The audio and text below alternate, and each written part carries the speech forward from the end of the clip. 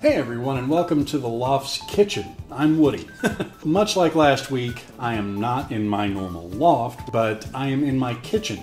And last week I had filmed some footage of me taking my transporter toy apart, but there was so much to it that I honestly, it was overwhelming. So I finally, on my own time, got it completely taken apart as least as much as I can without having to desolder the wires that are connected to the battery. Without doing that, I was able to take everything else apart and it's over here. We're going to focus on getting the parts clean today. So sit back, relax, grab some popcorn, watch me make a fool out of myself, and let's get into cleaning this thing up. Woody needs some coffee. So yeah, we're going to clean the mirror surfaces as well.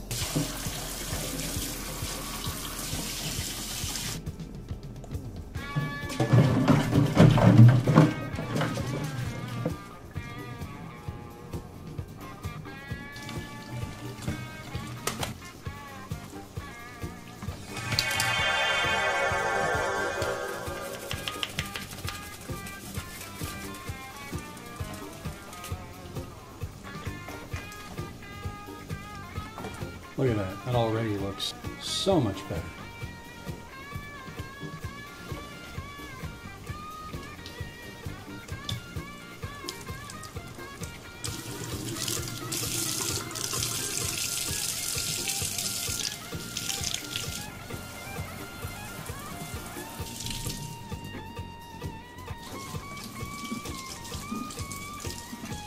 Okay, I've gotten everything that I can wiped down with soapy water really good, scrubbed, and that is off drying. So here I have the remaining parts that are still attached to each other via the wiring. So what I'm going to do is clean those with some IPA and a little bit of soapy water scrubbing just so we can get the dirt and grime off.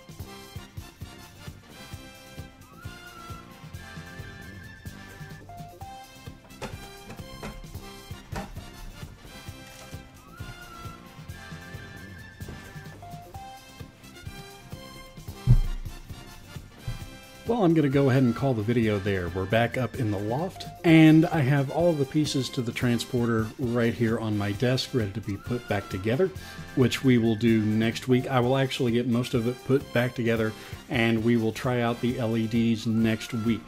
So look forward to part two next week. And once again, coming up in November is No Shave November or Movember, and I'm doing the Nazarite Challenge. So partner with me, join me in that let me know if you want to know any more about that. I will certainly, once I have all of the links, they will be in the description of next week's video. And until then, thank you all for watching. Don't forget to like, share, and subscribe to the channel and ring the notification bell. Also, you can support me on Patreon if you feel so led. Link is in the description. Thank you for stopping by, and I'll see you next time.